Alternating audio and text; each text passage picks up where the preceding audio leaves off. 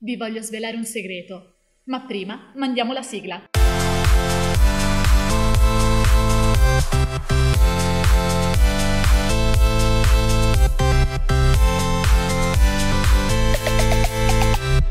Buongiorno amici homebrewers e benvenuti o bentornati sul canale di Biramia.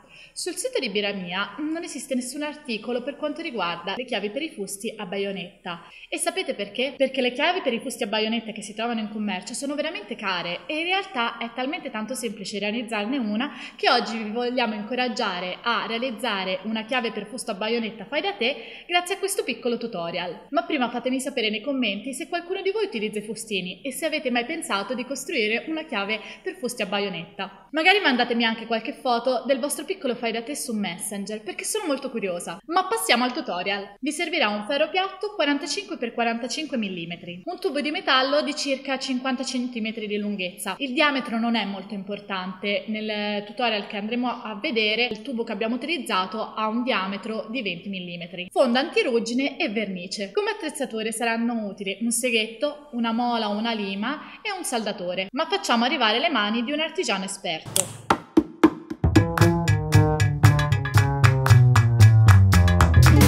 Su un ferro piatto prendi la misura di 45 mm e tira una riga che ti aiuterà nel taglio. Taglia il metallo con un seghetto. Noi avevamo a disposizione una trancia. Se stai utilizzando del materiale di scarto, ripulisci il pezzo di metallo ottenuto con una mola.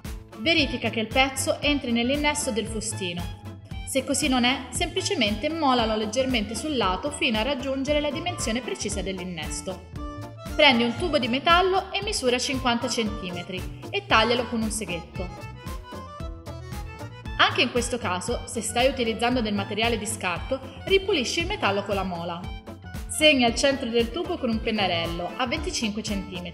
Poggia il ferro piatto al centro del tubo e segna dove arriva. Tieni fermo il ferro piatto sopra il tubo. Noi in questo caso abbiamo utilizzato delle squadrette magnetiche. E poi procedi con la saldatura, ricordandoti di mettere la maschera di protezione per gli occhi. Aspetta che il metallo si raffreddi e correggi le imperfezioni della saldatura con la mola. Possiamo adesso passare alla verniciatura. Prima di verniciare pulisci il tutto con un panno o uno scottex imbevuti di solvente. Passa uno strato di protezione antirugine e aspetta che asciughi e poi potrai procedere a verniciare il tutto con uno strato di colore a tua scelta. Noi abbiamo usato il nero. Ed ecco pronta la vostra chiave per fusti a baionetta che non ha assolutamente nulla da invidiare a quelle presenti in commercio. Fatemi sapere nei commenti se questo piccolo tutorial vi è stato utile e se volete che ne realizziamo degli altri. Se il video vi è piaciuto non dimenticatevi di mettere mi piace e di condividerlo con tutti i vostri amici homebrewers. Inoltre se non volete perdervi nessunissimo video non dimenticatevi di iscrivervi al canale YouTube e di cliccare sulla campanella per ricevere le notifiche di quando escono le nuove pubblicazioni.